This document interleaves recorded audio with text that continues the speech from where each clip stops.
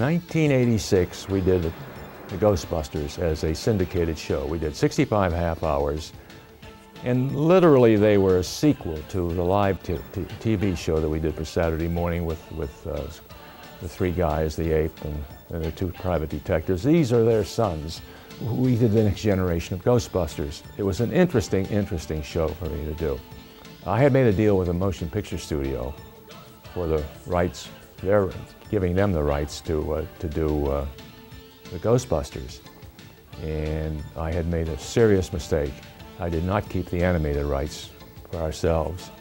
And all of a sudden, there were two animated Ghostbuster cartoons out there.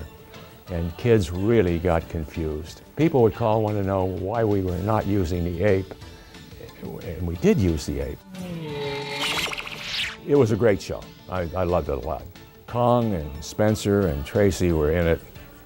And Kong was still the leader of the group. Then we did, let's see, what else we did that? That was Alan Oppenheimer. Oh yeah, he did, he was Prime Evil. He was a, he was a good villain, good villain.